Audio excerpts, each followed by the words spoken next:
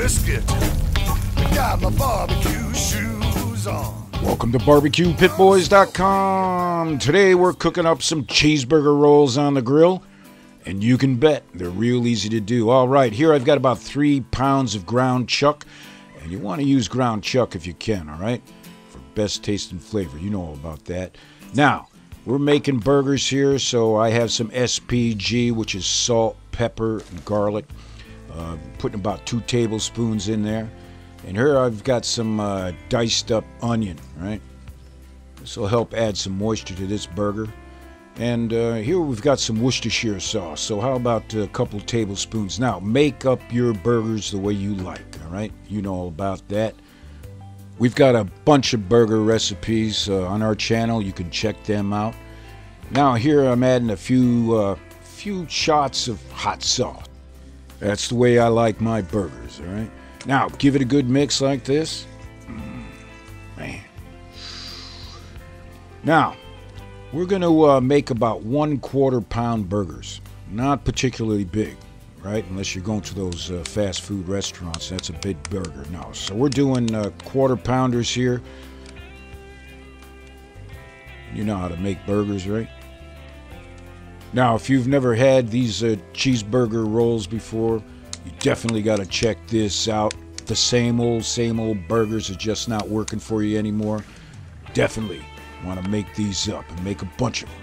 They'll go down real fast. All right, you've seen enough of this. Let's move on. All right, quarter pound burger patties have been made. And now we're going to throw them over direct heat, medium hot coals. And they're not going to take long to cook. Maybe four or five minutes each side, but you cook them the way you like.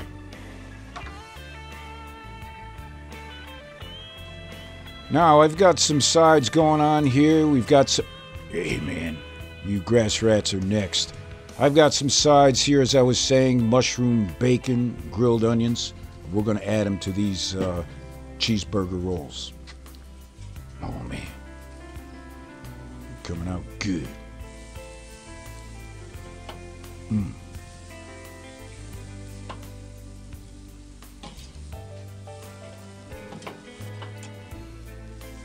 These here are just about done.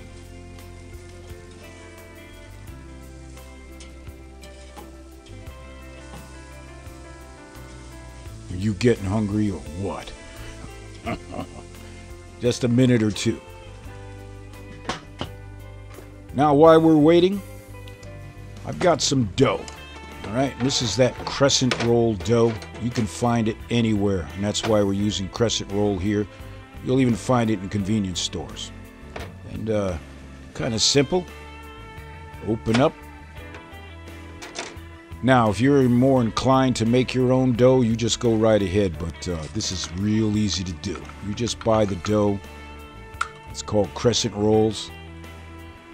Or even better, if you can find it, they're making the uh, pizza dough now in these cans, and uh, it just saves a lot of time, right? Just roll them out, and I'll show you a bit of this. Now, the trick is you want to keep the uh, this dough ice cold before you roll it out. Otherwise, it'll get too soft and it's a pain in the ass to unroll. But you know all about that too, right? Oh, yeah. These are good, and it's worth the effort. Now, the food police might be asking now, well, why don't you just do this in the oven? Well, because you won't get that wood fired flavor in this dough, all right? Simple enough.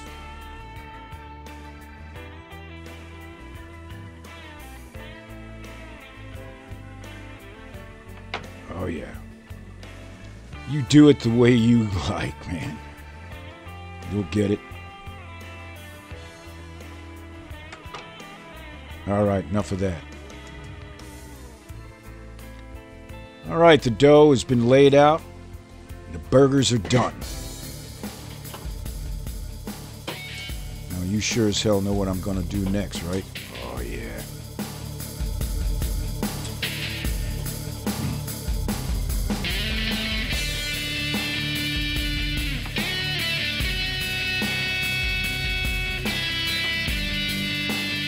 Take one of these burgers. Man. Then you grab some of those sides. Yeah. Grilled onion, bacon.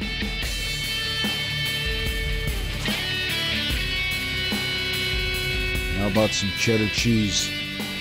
You stuff these the way you like.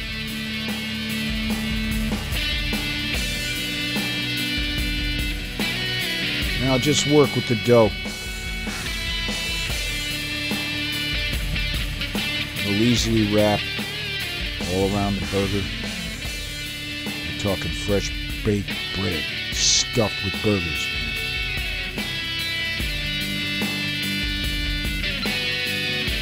Do another one for you.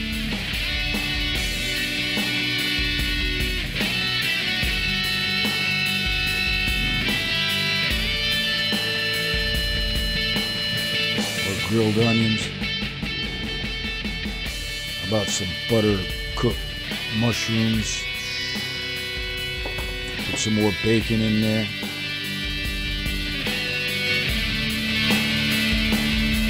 Throw some cheddar cheese on. And just wrap it. Simple enough.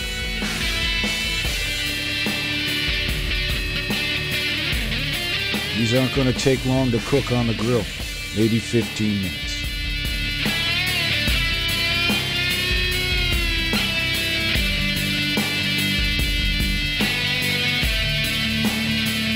Hell, I'll do another one. I got the time. You can always use that fast forward button in front of you, man, if you're uh, getting impatient. Just move on out of here. This one here, I'm just going to make a cheeseburger. Got the picture, right? Now, trust me, you got to make a bunch of these. These will go faster than your Uncle Charlie's burgers that were on the grill. They're real good. All right, I'm going to make a few more. And through the miracle of time, they're on the grill, indirect, opposite the hot coals, about 350 degrees Fahrenheit. Yeah. Now, about 15 minutes has gone by. Take a look at that. Nice. Crispy on the outside. Nothing better than fresh baked bread for your burgers. Can you smell that? It smells good. I say it's time to eat. And as always, I do apologize for eating in front of you like this, but uh, this here is pitmaster privilege.